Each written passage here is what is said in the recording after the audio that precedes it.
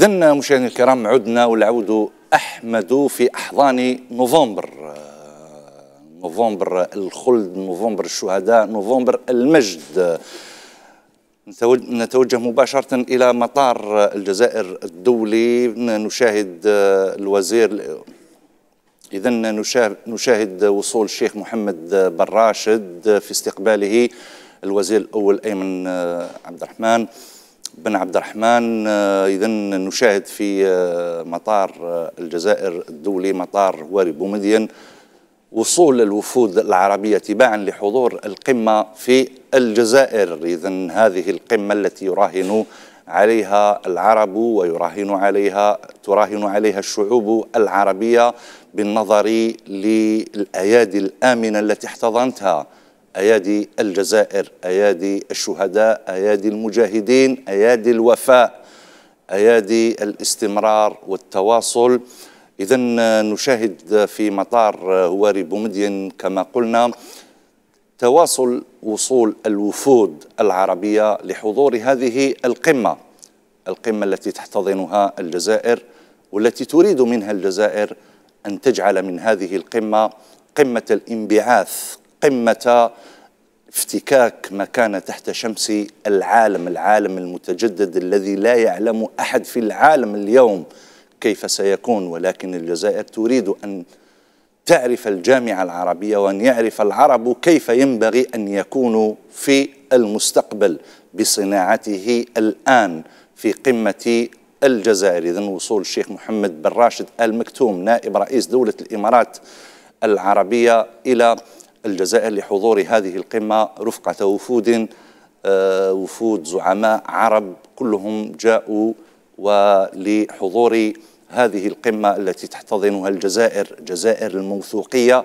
جزائر الأمن والأمان جزائر الوقوف على مسافة واحدة من كل دول العالم من كل الأشقاء العرب جزائر آه، احترام سيادة الأوطان جزائر التي لا تملك أجندات الجزائر التي تحترم السيادات وتحترم قرارات الدول الجزائر التي تحترم كذلك الجوار وتحترم الشعوب وتحترم والثابته في المواقف التي خطها الشهداء عليهم رحمة الله وثبت عليها المجاهدون كذلك وثبت عليها الخلف دبلوماسية جزائرية راقية دبلوماسية جزائرية ضربت أرقى أو أعطت أرقى الدروس في العالم وأثبتت نجاعتها في العديد من المحطات والملفات. والمواطن العربي الكريم يعرف مدى نجاعة الدبلوماسية الجزائرية. إذا مشاهدينا الكرام نشاهد وصول الوفود تباعا إلى الجزائر لحضور هذه القمة التي يحتضنها نوفمبر. هذا الحدث التاريخي الذي كان سببا في ميلاد هذه الأمة في انبعاث هذه الأمة في تحرر هذه الأمة ومعها العرب ومعها كل الشعوب كل الشعوب المستضعفة. اذا مشاهدينا الكرام أرحب بضيوفي الكرام أسعد في هذا الجزء الثاني باستضافة الأستاذ محمد رزيق أستاذ العلوم السياسية والعلاقات الدولية بجامعة الجزائر. مرحبا بك على قناة البلاد وفي هذه المتابعة الخاصة. وبكم. شكرا على الدعوة. كما أسعد كذلك باستضافة الأستاذ علال نائب رئيس علال بوثلجة نائب رئيس المجلس الشعبي الوطني. مرحبا بك أستاذ علال في هذه المتابعة الخاصة كذلك. مرحبا بك سي محمد ليك ولضيوفك الكرام وشكرا على الاستضافة. أستاذ الهواري تيغرسي مرحبا بك وأنت الخبير الاقتصادي والمحلل الاقتصادي واليوم الاقتصاد حاضر بقوة في الجامعة العربية وفي هذه القمة العربية التي تحتضنها الجزائر. شكرا شرف لي كذلك الحضور. إذا آه، ضيوفي الكرام دعوني أبدأ معكم من التحديات. اليوم العالم العربي يعيش راهن. راهنا ليس بالقدر المحتوم. راهن يمكن أن يتحول إلى رهان وذلك ما تعمل عليه الجزائر. إذا كانت تكرمتم نبدأ مع الأستاذ محمد رزيق. هذا الرهان الذي تراهن عليه الجزائر والذي تريد من خلاله أن تقذف بالعالم العربي إلى المستقبل بالأمة العربية إلى المستقبل. ما هي هذه الرهانات التي يمكن آه، أن يتصورها الأستاذ في العلوم السياسية والعلاقات الدولية والتي آه، يطمح إلى تحقيقها المواطن العربي البسيط؟ نعم شكرا على السؤال. بسم الله والصلاة والسلام على رسول الله. البلاد العربية وما تشهده من اضطرابات جيو استراتيجيه خاصة بعد تربع بعض القوى الدولية على سدة الحكم العالمي وخاصة بعد الحرب الأخيرة التي اندلعت بين روسيا وأمريكا في أوكرانيا. أيوه بين في روسيا أوكرانيا. وأمريكا في اوكرانيا في أوكرانيا. والكلمات لها دلالات. نعم. العالم يشهد اذا تغير جيو استراتيجي هذا التغير هذا إن لم نكن نحن العرب نحن الأمة العربية نحن البلدان العربية في المستوى المطلوب. معناه تحضيرا واستعدادا ودراسة واقبالا ليس ادبارا فإننا سوف نبتلع وسوف معناها نؤخذ الواحد بعد الآخر وربما وربما معناه سوف تكون اعتداءات في وضح النهار على منطقتنا خاصة وأن اليوم الرهانات المطروحة هي قضية الغذاء.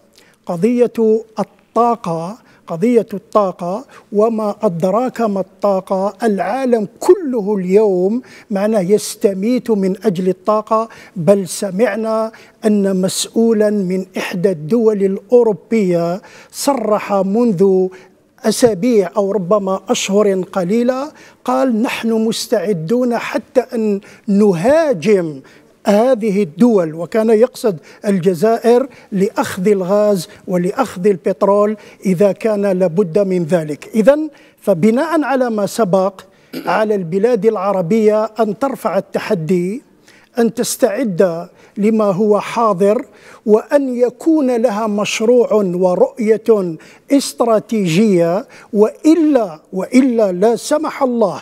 إذا ما كانش عندها رؤية وما كانش عندها مشروع سوف تكون مشروعا لقوى كبرى في هذه المنطقة. إما أن تكون مشروعا أو أن تكون مشروعا لغيرها. يعني تصنع مشروعها أو تكون مشروعا لغيرها. أستاذ علال بوثلجه اعتذر من الاستاذ هواري ثغرسي بمعنى انه اليوم القمة العربية في الجزائر في شهر نوفمبر أستاذ علال آه، عندها آه، رهانات تتعلق بالمستقبل أكثر من الماضي برأيكم بمعنى أن الجزائر لا تريد من القادة العرب أن يبقوا رهائن سجناء لحظة الماضي بل تريد الجزائر من الأشقاء العرب أن يصنعوا المستقبل اليوم في الجزائر ورسم المستقبل من خلال قمة الجزائر. بسم الله الرحمن الرحيم. والصلاة والسلام على أشرف المرسلين. شكرا سي محمد. على الاستضافة مرة أخرى أنا نقول بأن القمة العربية هذه كل شيء فيها استثنائي وكل شيء فيها يستوقفنا أن نقف عنده. أولا هي قمة عربية تأتي بعد ثلاث سنوات من الانقطاع لأنه آه، ظروف صحية منعت. العالم توقف. العالم توقف والاجتماعات من هذا النوع توقفت. الأمر الثاني اللي جعل منها استثنائي أنها تتصادف واختارها السيد رئيس الجمهورية أن تتصادف مع ذكرى اندلاع الثورة. ثورة يشهد لها العالم لا يشهد لها الجزائريون فقط. وثورة شارك فيها كل العرب بدون استثناء كل حسب إمكانياته آه، في في هذاك الوقت.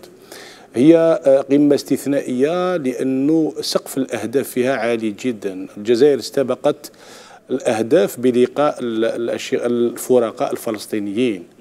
والهدف منه كان أنه نعاود نرجع القضية الفلسطينية إلى أولوية الأولويات وإلى الرقم واحد في أجندات القمم العربية بعدما كانت كاينة عدة محاولات لتغييبها.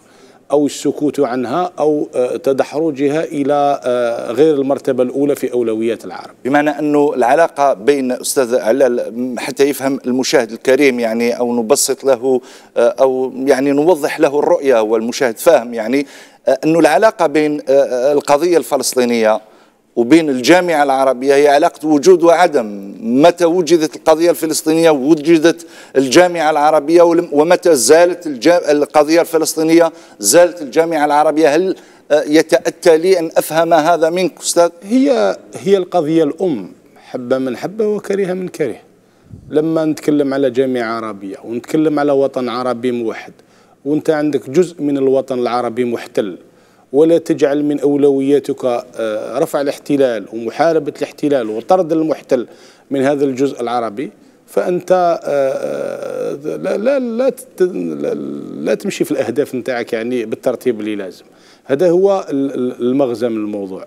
زيد على ذلك هو أنه القضية الفلسطينية عندها تداعيات كثيرة موش فقط على الوطن العربي كوطن عربي لأنها مربوطة بقوى عالمية والقوى العالمية هذه كل منها عنده عمق داخل الدول العربية. القضية الفلسطينية هي أولوية الأولويات وقلت أنه هذه المرة سقف الأهداف رفع. علاش؟ لأنك ربما منذ 2002 منذ قمة بيروت نعم. والمبادرة العربية للسلام التي تقريبا زادت يعني كمولود ميت. ما القضية كانت كل مرة تتأخر في القرارات الجامعة العربية. وموجة التطبيع في السنوات الأخيرة وكل شيء. كل هذا جعل من التيار يتجه إلى جهة. الآن الجزائر رفعت التحدي حتى هي مش تمشي ضد التيار ولكن حولت التيار إلى قناعة الجزائر والاتفاق الفلسطيني يثبت ذلك أعادت الأمور إلى نصابها. أعادت الأمور إلى نصابها هو تحدي كبير لأنه علاش؟ لازم نقراو في في التوازنات العالمية. الآن الحرب الروسية الأوكرانية كذلك راهي تعاود ترجع إلى القطبية الثنائية. رسالة الرئيس فلاديمير بوتين إلى القمة العربية. رسالة الرئيس الصيني إلى القمة العربية وإلى قادة الدول العربية آه، تعني الكثير بأن هذه القمة العربية من خلال سقف الأهداف نتاعها رجعت الدول العربية ورجعت الجامعة العربية إلى التوازنات الدولية الحقيقية. وأصبحت حقيقة لاعب أساسي واللي راح يكون ابتداء من غد اليوم وغدا أكيد راح يكون مختلف جذريا على ما كان الأمس وقبل الأمس. نعم أستاذ آه، آه، الهواري هل في تقديرك اليوم يعني هذا الظرف الذي تنعقد فيه الجامعة آه، والقمة العربية في الجزائر الظرف الدولي كما قال ضيوفنا الكرام إضافة كما قلت أنا إلى الراهن العربي اليوم يفرض على القادة العرب مسايرة الجزائر في طموحها المرتبط بالسماء يعني طموح لا سقف له في الجزائر في هذه القمة والخوض في ملفات ربما يعني دحرجت في السنوات الماضية إلى مراتب متخلفة جدا تريد الجزائر إعادتها إلى السكة هذه المرة باعتبارها هي الرهان الذي ينبغي التمسك به يعني في الجزائر لإعادة الروح لهذه القمة حتى يتسنى للعرب افتكاك مكانه تحت شمس العالم المقبل يعني الذي لا ندري كيف سيكون. في الحقيقة طبعا محمد هو ترتيب للبيت العربي. لأنه شفنا طبعا رهانات في في الماضي وشفنا طبعا المشاكل طبعا في الحاضر. وهنا نحكو على لا نحكو على نقطة فلسطينية. بالنسبة لنا هي نسبة أو فكرة عقيدة بالنسبة للجزائر وحتى بالنسبة للمواطن العربي آه، فلسطين هي فكرة عقيدة لأنه هنا نحكو طبعا على آه، ظروف وتاريخ وطبعا دين. وهنا آه، مهم جدا لما نحكو على فلسطين حاجة الأولى أنه هناك طبعا حركية شفناها مؤخرا. من آه، خاصة آه، النقطة اللي نحب نركز عليها لأن المنظومة جاءت على أساس نعم سياسوية ولكن الحدث جاء على أساس اقتصادي بحت. لأنه شفنا مشاكل موجودة في كثير من الدول العربية مشاكل طبعا أمنية آه، مشاكل طبعا صراعات سياسية موجودة وطبعا حركية كبيرة ولكن بالمقابل شفنا الطابع الجيوسياسي بالنسبة للعالم في المراحل السابقة وشفنا التغير الصورة والتغير كذلك الخارطة العالمية.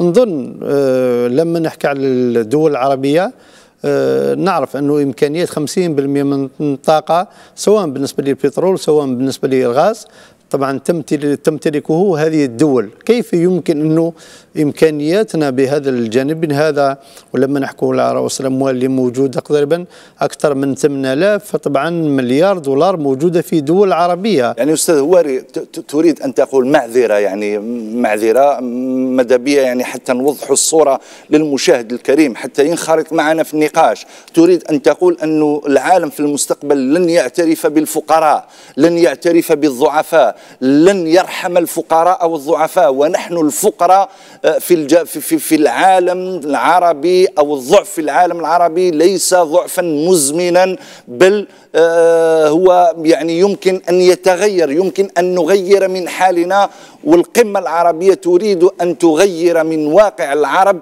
من خلال آه، يعني الثروات والاقتصاد والتجارة وغيرها يعني.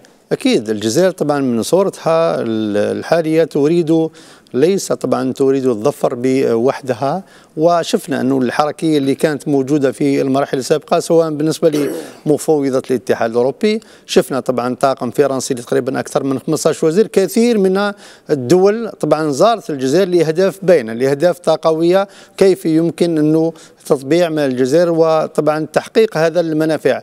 الجزائر لا تريد إذا هذا صورة الجزائر اللي هو يعتبر بلد من 22 بلد موجود في الدول العربية. كيف يمكن طبعا مواجهة المشاكل الخطيرة اللي كان ذكرها الأستاذ ومجابهة طبعا المشاكل العصيبة في المراحل القادمة.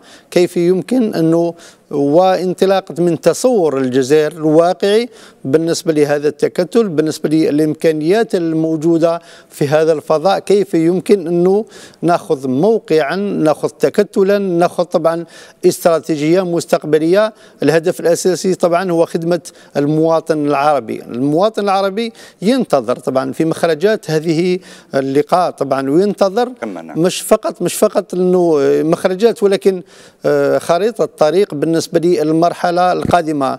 وسي محمد نقطة مهمة جدا.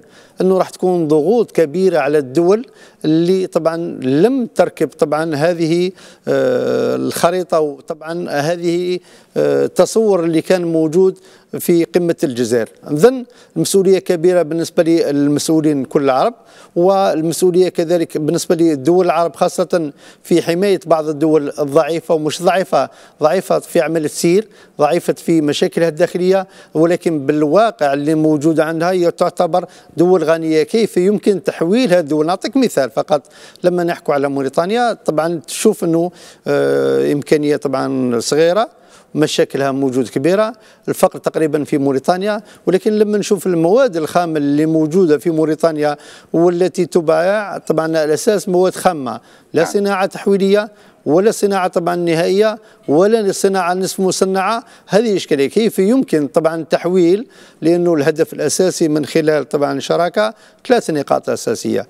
تحويل طبعا تكنولوجيا تحويل رأس المال وتحويل أو تحرك العنصر البشري بكل بساطة. نظن نعم. نظن لما توفر الأمور هذو بالنسبة للدول العربية وحتى أنه من منطقة غير منطق طبعا اجتماعي أو منطق واحد آخر.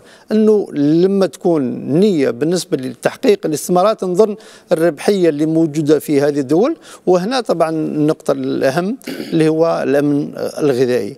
الأمن الغذائي هناك دول عربية من بينها السودان من بينها طبعا العراق من بينها طبعا الجزائر من بينها مصر كذلك. يمكن طبعا تحقق سلة بلدان عربية من خلال حتى التكاليف تكاليفها ممكن تكون جد منخفضة مقارنة. مع عملية الاستيراد المواد الغذائية آه، من أوروبا وخاصة أنه نعرف الأزمة آه، أزمة التكاليف بالنسبة لوسائل النقل تمثل في حالة نعم. 40% من قيمة الأشياء طيب الآن ضيوفي الكرام هل برأيكم اليوم آه، الوضع العربي الراهن آه، ارتفاع وعي المواطن العربي إدراكه لما يقع في العالم من نقارنه مثلا بين قمة 2005 وقمة 2000 و22 نلاحظ أن هناك اختلاف كبير جدا في حجم المعلومات وفي حجم آه، نعم المعلومات الواردة حول آه، القمة العربية. هذه هل برأيكم اليوم المواطن العربي الذي أصبح العالم بالنسبة إليه شاشة كبيرة مفتوحة سيفرض على القادة العرب هذه المرة ولو بشكل أو بآخر آه، على الأقل الوفاء بالتزاماتهم داخل الجامعة العربية على الأقل الذهاب إلى إصلاح الجامعة العربية على الأقل الإبقاء على الجامعة العربية مظلة فعالة تحميه وتحقق له أحلامه وأمانيه. أسمع منكم جميعا. تفضل أستاذ ثم نعم. لكم الكلمة. نعم. آه منذ آخر مؤتمر للقمة العربية انعقد بالجزائر في 2005 إلى يومنا هذا عندنا معناه 17 سنة. نعم. ماذا حدث في هذه الفترة؟ الذي حدث هو أن العراق وكان قبل ذلك بسنتين قد احتل. نعم. أبريل 2003 وبيع الثروات يعني نعم. عدوان كبير على سوريا على ليبيا. وما زالت سوريا إلى يومنا هذا تعاني من الأمر. تدمير دولة تسمى ليبيا وهي على حدودنا نشترك معها في ألف كيلومتر من الحدود. اليمن كذلك دولة معناها دمرت وضربت و و والفقر اللي راه سايد في اليمن آه والمشاكل اللي راهي سايده في اليمن لا يعلمها إلا الله.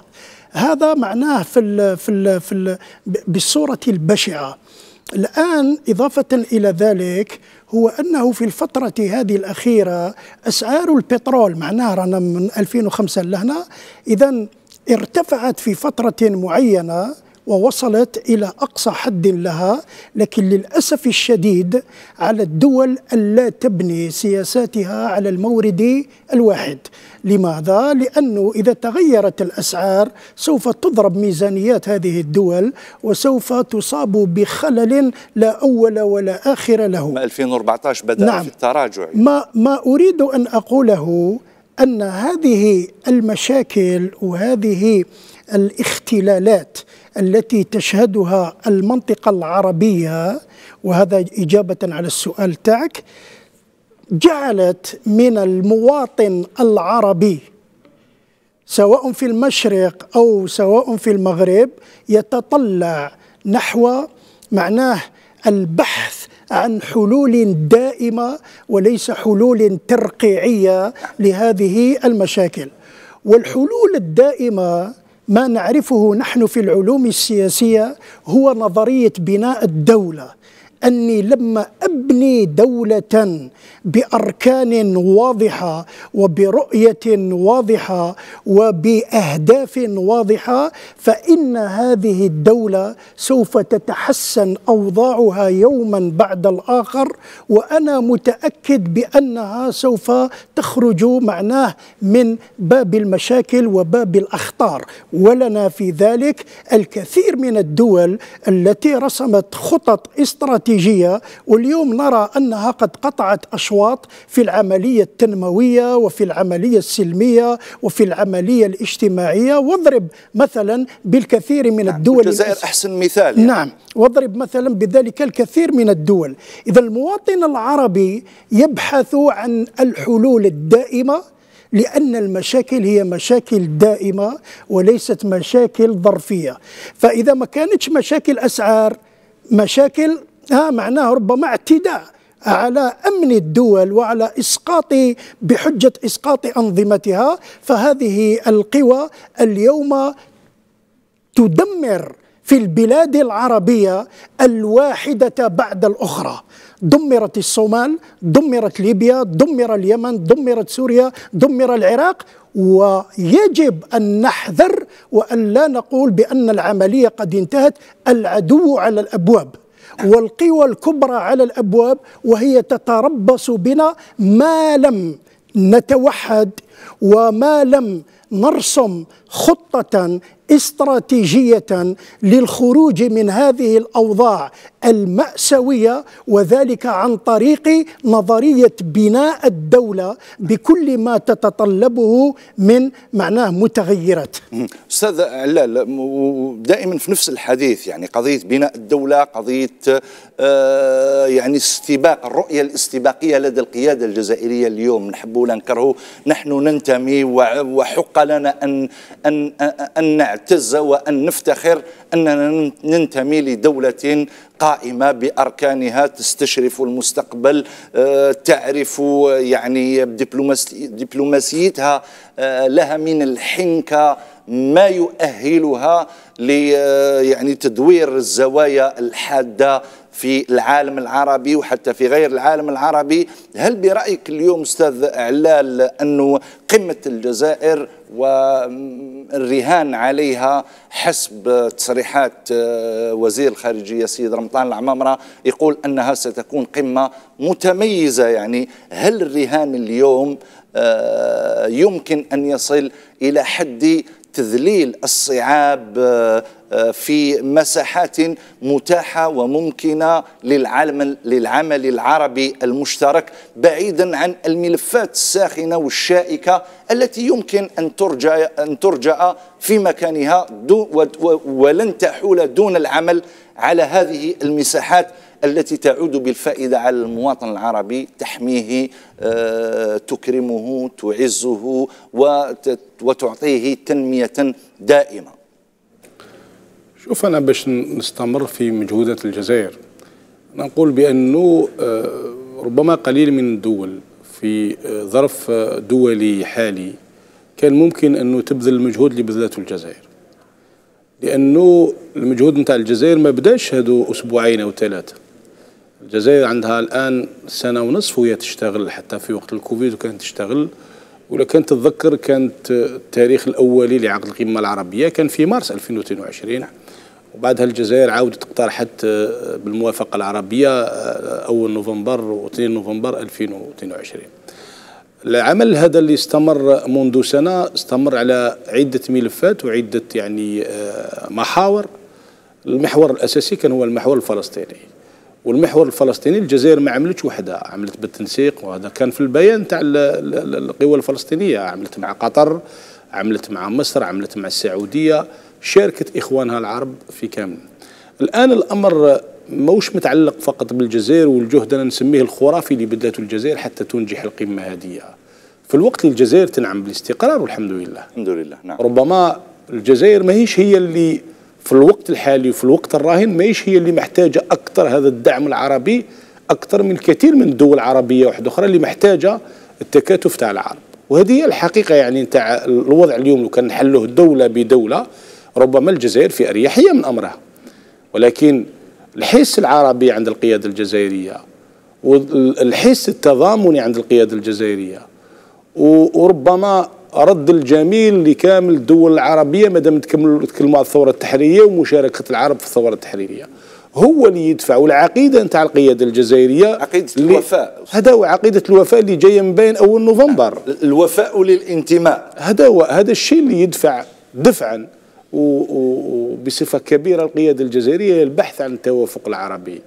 اليوم العالم العربي ما بقاش العالم العربي نتاع معاوية والسيد أحمد الطايع وحافظ الأسد ومبارك و رحمهم الله جميعا. رحمهم الله والقذافي وأبو تفليقة. القيادات اللي اللي عمرت يعني 20 و25 و30 سنة وكانت ربما فارضه واحد النوع من الاستقرار في المنطقة العربية. العالم العربي اليوم هو عالم عربي نتاع قيادات جديدة من المشرق إلى إلى المغرب يعني تقريبا 80% 90% من القيادات العربية. حتى في دول الخليج التداول على المملكات وال يعني والإمارات التداول جاب قيادات يعني شابة. آه، في في الآن اللي كنشوفوا السيد عبد المجيد تبون واش استقبل استقبل آه، رئيس عراقي اليوم رئيس مجلس رئاسي في العراق رئيس المجلس الرئاسي في ليبيا. آه، الرئيس التونسي الرئيس الموريتاني الغزواني الرئيس الصومالي الرئيس كلها قيادات جديدة نعم. كلها قيادات جديدة وهي قيادات اللي أنا نتوقع أنه عندها هذيك نظرة مختلفة على القيادات القديمة وحابة حقيقة أنه تعمل في إطار عربي مفتوح لأنه اليوم حقيقة أركان الدولة وهل فرصة مهمة. الجزائر مواتية يعني؟ موثوقية الجزائر وقوفها في نفس المسافة من كل هذه الدول. أنت تعرف خير من الدبلوماسية الجزائرية. هل فرصة مواتية آه، للخروج من هذا الراهن والدخول نحو الرهانات يعني؟ شوف مستوى التمثيل يثبت ذلك. مستوى التمثيل يثبت ذلك أنه حقيقة كاين ثقة في في الجزائر كاين ثقة في الثقل نتاع الجزائر كاين ثقة في في النظرة الاستباقية تاع الجزائر. إحنا كنا دائما نقولوا لما الجزائر لأنه العرب وقتاش التفكك الحقيقي وقتاش ظهر يعني في المواقف السياسية الدبلوماسية في حرب الخليج الأولى. نعم.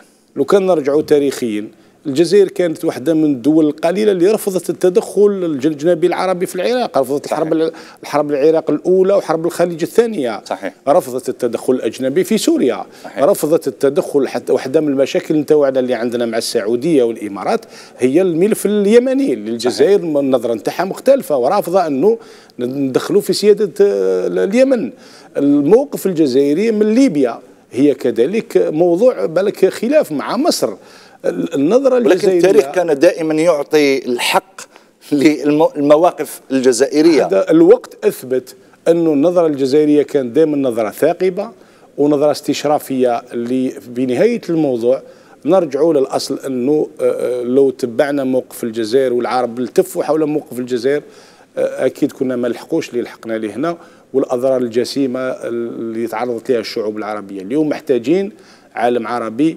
منفتح على بعض البعض اليوم اليوم الأولوية المطلقة زيادة. علم عربي جديد أستاذ علال؟ هذا هو جديد جديد بقياداته جديد بأفكاره جديد بالنظرة نتاعو للمستقبل. حتى جديد كذلك بآليات عمله. أستاذ آه، هواري تغرسي ما هي المجالات اللي يمكن اليوم المواطن العربي يعني آه، يقع في إشكال كبير. أنا قلت بأن اليوم المواطن العربي في الجزائر أو في أي دولة عربية أخرى يطرح التساؤل لماذا لا أعيش كما يعيش الأوروبي؟ يعني بنفس مستوى التنمية وغيره.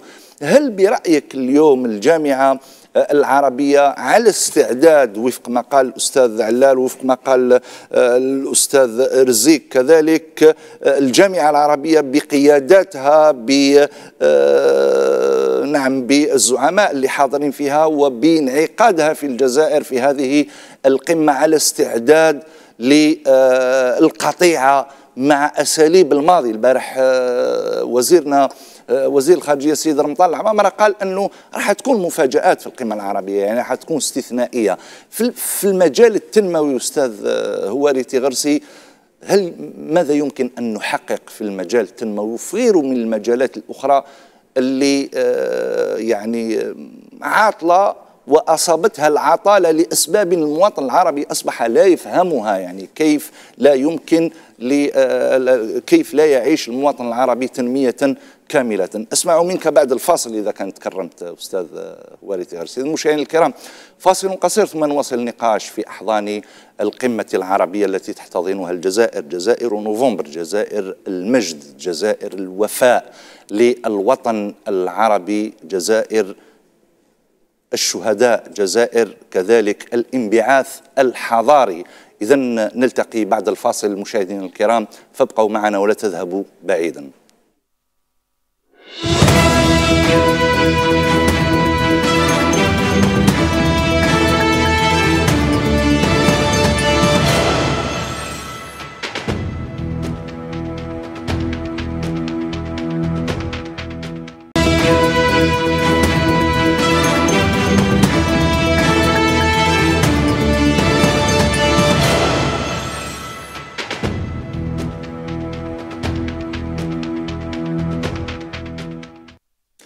إذا مشاهدينا الكرام مرحبا بكم مجددا. في الجزء الثاني من هذه الحصة الخاصة لمتابعة الحدث العربي والجزائري بامتياز قمة الجزائر بطبيعة الحال وقمة القمة العربية التي يحتضنها شهر نوفمبر شهر الثورة. هذه القمة التي جاءت رمزيتها في استعادة السيادة واستعادة الدول العربية لسيادتها باعتبار أن الجزائر سيدة قرارها بامتياز سيدة قرارها بامتياز. كنا نتحدث قبل قليل مع ضيوفنا الكرام مع أستاذ واري تغرسي حول واقع آه، المواطن العربي اليوم. هل قمة الجزائر اليوم ستستجيب ستعطي إجابات حلول للمواطن العربي من خلال آه، شحذ همم القادة العرب على ضرورة استعادة قرارهم وسيادتهم كاملة وممارسة هذه السيادة كاملة لتعود بالفائدة على المواطن العربي. محمد لازم نذكر أنه كاين بعض النقاط اللي موجودة وبعض المؤشرات اللي كانت موجودة في المراحل السابقة بعد أيام تقريبا أيام. وهنا طبعا نشوفوا القرار اللي كانت فرضت الاوبك ولما نعرف الاوبك بلس هي طبعا هي كلها تقريبا أغلبيتها دول عربية معناتها الجزائر ليبيا العراق قطر. الكويت كل الدول موجودين في أوبك بلس. وأعطى طبعا قرار لتخفيض من اليوم أقل أو طبعا 2 مليون برميل للتحكم في الأسواق العالمية لفرض الأسعار ليش لطبعا تحقيق سواء بالنسبة للمآرب الشخصية بالنسبة لهذه الدول سواء بالنسبة حتى للسوق العالمية اللي كانت طالبت أمريكا شفنا زيارات في أمريكا في المراحل القادمة السابقة لعدة دول. طالب منها أنه ضخ البترول في السوق العالمية حتى تنخفض الأسعار وحتى طبعا يستفيد الأوروبي والغربي من هذه ولكن لاحظنا طبعا قرارات شجاعة في أول مرة في التاريخ تقريبا.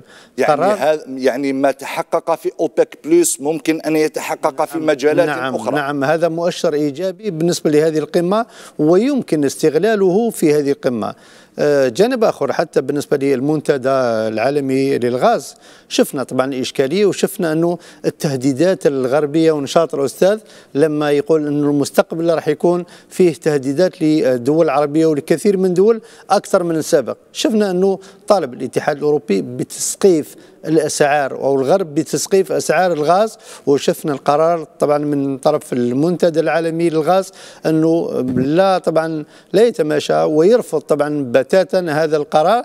معناتها تشوف الإشكالية اللي موجودة شوفوا كذلك إنه الاستقرارية اللي موجودة في تنظيمه حتى المنتدى العالمي للغاز من هم؟ الممثلين أو 19 دولة الممثلة للمنتدى أغلبيتها دول عربية. معناتها بنفس الطريقة ضروري إنه نخرجوا طبعا بمخرجات مهمة مرتبطة سواء بالنسبة للأمن الغذائي سواء بالنسبة للأمن الطاقوي سواء بالنسبة للإشكالية اللي موجودة في الدول العربية هي الأمن المائي كذلك سواء بالنسبة للأمن الصحي سواء بالنسبة لرقمنا كثير من النقاط اللي نظن نحكوا على 24 بند في الجانب الاقتصادي والاجتماعي وكذلك اللقاء اللي كان مع وزارة الخارجية تقريبا 19 بند راح نشوفوا المخرج نتاعو في المراحل القادمة. ولكن آه، نعود لسؤالك اللي مرتبط بهذا الجانب أنه من حق طبعا المواطن العربي أنه لأنه شايف العالم ما بقاش في الفكرة اللي كانت قديمة أنه ما عندكش معلومات لكن يوميا تقدر معلومة وتقدر تواصل مع اللي في كندا ومع اللي في أمريكا ومع اللي في دول واحدة أخرى إمكانيات موجودة. كيف يمكن استغلال هذه الإمكانيات الموجودة لتحقيق هذه الوثبة في هذه المرحلة؟ لأنه شفنا تحركات وشفنا حتى من الجانب الجيوسياسي أنه تقريبا العالم تغير وشفنا الانحلال. طبعا اللي كان موجود بالنسبة للاتحاد الأوروبي شفنا التناقضات اللي كانت موجودة في الاتحاد الأوروبي لأنه آه، محمد كان نقطة مهمة جدا نذكرها. إنه يبنى التكامل خاصة التكامل طبعا العربي. اولا آه، الدين الإسلامي محمد. لأنه قضية فلسطينية إحنا ما نصرناش قضية فلسطينية لأنه نحب فلسطين. لأنه نحب طبعا الدين الإسلامي وطبعا لما نحكوا على فلسطين طبعا هي أول القبلتين وطبعا ثالث الحرمين. مهم جدا. هذا بالنسبة لنا الدين طبعا يمشي في عروقنا. فلسطين ما عندناش. إحنا آه، نحب أبو مازن ونحب لا لا إحنا فلسطين ك ك ك ك ك كهيئة ك كمركز كدين كمشاعر بالنسبة لكل الدول العربية تحب هذا الجانب نقطة واحدة أخرى أنه آه، مش فقط في الجانب هذا. النقطة الثانية أنه آه، اللغة.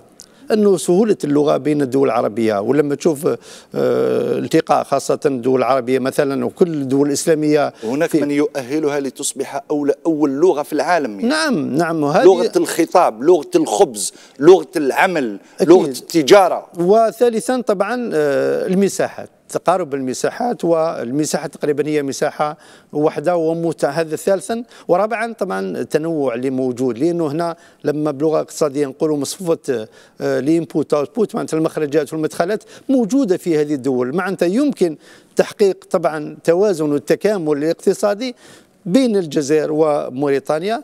لأنه عندهم أمور ونعطيهم أمور.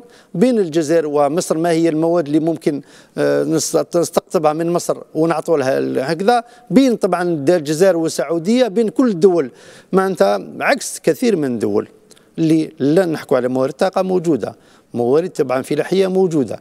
موارد منجمية موجودة. مو كل الموارد موجودة. ولكن لما نروح لأوروبا ما كانش ما كانش تكامل فيما يخص الموارد. يعني هناك نشوف الازمه في معادلة نعم العرض نعم والطلب. نعم نشوف المعادلة. ذوك التكامل بالنسبة لمواد الطاقة غير موجودة في أوروبا. بالنسبة للغاز غير موجودة. بالنسبة للبترول غير موجودة. بالنسبة لكثير من المواد الخام يا إما هي من دول عربية يا إما هي من دول طبعا العالم وخاصة الدول الإفريقية. معناتها شروط التكامل الاقتصادي بغض النظر عن القرارات السياسية متوفرة. كيف يمكن أنه نحدث هذه الوثبة؟ من خلال طبعا المشاركة نقول بكل صراحة وطبعا لما نسمع الوزير الخارجية الأمس يحكي على دور المجتمع المدني دور طبعا مرافقة الشعوب دور ضغط الشعوب في المراحل القادمة لتأسيس هذه المنظومة بكل صراحة. كيف يمكن أنه نخطط؟ وهنا نشوفوا لما نحكي على الجامعة العربية ونشوف طبعا الصناديق والتنظيمات اللي موجودة. صندوق النقد العربي تقريبا هذه السنة استثمار بمليار طبعا دولار. لما نشوف المبادلات البينية بين الدول العربية تقريبا 10% فقط من حوالي 800 يعني لا تكاد تذكر. طبعا حتى الأرقام حتى الأرقام ممكن الأستاذ أنا تختلفوا. أنا نقول لك 10% والأستاذ يقول 11% واحد آخر يقول لك 9% حتى الأرقام غير معروفة أساسا. وبالتالي إنه نحتاج إلى تحريك لما نشوف بعض التنظيمات الموجودة في آه، طبعا الصندوق أو في ما يخص آه، الاتحاد هذا مرتبطة بالاقتصاد الزراعي، تطوير الاقتصاد الزراعي، النظرة طبعا بالنسبة للاقتصاد الزراعي ولكن في الواقع أنا نقول كتنظيم موجود جميل جدا. هناك طبعا استشراف وطبعا استراتيجية لعمل منظم ولكن مدى تطبيق هذه القرارات هو مهمة لأنه المسؤولية اللي قالها البارح وزير الخارجية قال يتحملوا المسؤولية طبعا في مدى تطبيق القرارات الجزائر في المراحل القادمة كذا. وهذه هي النقطة التي رافعت عليها الجزائر وهذه اللي لازم يفهمها المشاهد الجزائري والعربي هو أن الجزائر راهنت منذ 2005 على ضرورة إصلاح الجامعة العربية على ضرورة إصلاح اتخاذ القرار في الجامعة العربية على ضرورة آه، آه، إيجاد آليات إلزام آه، القادة العرب والدول العربية بالالتزام بوفاء بالقرارات المتخذة داخل الجامعة العربية. أستاذ رزيق هل برأيك اليوم موضوع إصلاح الجامعة العربية ممكن يتحقق في قمة الجزائر لأنه أصبح من غير المعقول ومن غير الضروري أو من غير المقبول أن تتخذ قرارات في في جامعة في قمة عربية. ثم بعد ذلك بعد سنة بعد عشرين سنة نناقش نفس القرارات ونخرج بنفس القرارات بعد عشرين سنة وكأنه نستنسخ القرارات. الآن الجزائر تريد أن توجد آليات إلزام الدول العربية بالالتزام بالقرارات المتخذة كيف يتأتى ذلك أستاذ رزيق؟ نعم شكرا على السؤال هو فيما يخص قضية إصلاح الجامعة العربية فهي قضية مطروحة منذ سنوات عدة لماذا؟ لأن جامعة الدول العربية تأسست في مرحلة وفي زمن غير زماننا هذا تأسست في الخمسة وأربعين. اليوم سبعة وسبعين سنة قد مرت عليها الكثير من النقائص آه، لوحظت حول آه، حول أدائها وحول فعاليتها وحول النتائج التي توصلت إليها. كما تفضل الأستاذ الكريم منذ قليل التجارة البينية التي نتكلم عليها كثيرا لم تتعدى 10% أو ربما أقل من ذلك. إذا هذا الأمانة العامة التي أصبحت معنا حكرا على آه، الدولة المنشئة على على على على مصر. إذا نعم. هذا البلد المنشأ هذا كذلك هذه مسائل لابد من إعادة النظر فيها. قضية قضية اتخاذ القرارات بالإجماع وهذا أمر معنا صعب جدا جدا حتى يتم التوافق عليه أو أو الإجماع حوله. آه، كذلك النزاعات المطروحة بين البلدان العربية خاصة وأن ميثاق الجامعة يقول لا نعتدي على بعضنا ولا نتدخل في شؤون بعضنا البعض لكن الواقع أثبت عكس ذلك للأسف. إذا هل هناك محكمة عربية دولية إقليمية عربية نعم. للفصل في هذه القضايا وللبحث فيها؟ أعتذر منك أستاذ إذا كنت كرمت نذهب إلى المركز الدولي للمؤتمرات ثم أعود إليك إذا كنت آه، إذا تكرمت يعني. آه، علينا إذن المركز الدولي للمؤتمرات آه، يبدو أنه هناك إما ندوة صحفية أو استقبال رئيس دولة. إذا المركز الدولي للمؤتمرات عبد اللطيف رحال.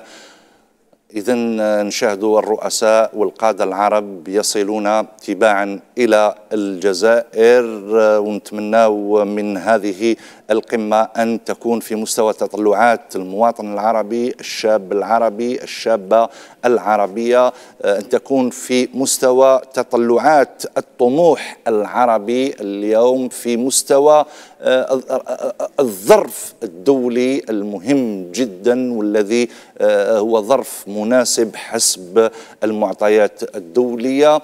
إذا نشاهد السيد عبد المجيد تبون يواصل كذلك استقباله لضيوف الجزائر استقباله لضيوف القمة العربية قمة الجزائر بطبيعة الحال قمة الجزائر. هذه القمة التي تنعقد في أجواء نوفمبر.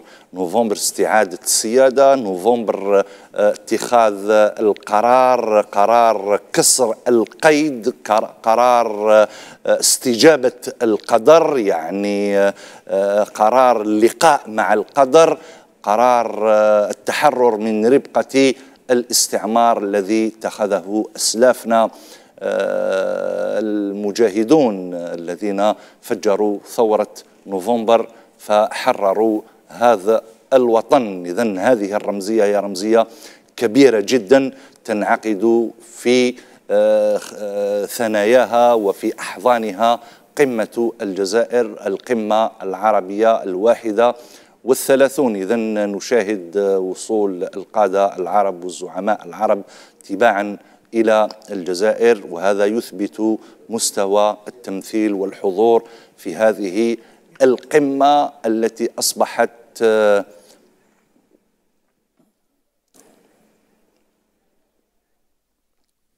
إذا أستاذ رزيق نعاود نولي ليك إلى مسألة القرارات نعم. اللي تتخذ داخل الجامعة العربية وضرورة نعم. إلزام الدول اللي تتخذها قضية الإجماع نعم. وغيره في قضية القرارات التي ينص ميثاق الجامعة أنها تؤخذ بالإجماع وإذا أخذت بالأغلبية فهي لا تلزم إلا من صوت عليها أو اتخذ هذا القرار.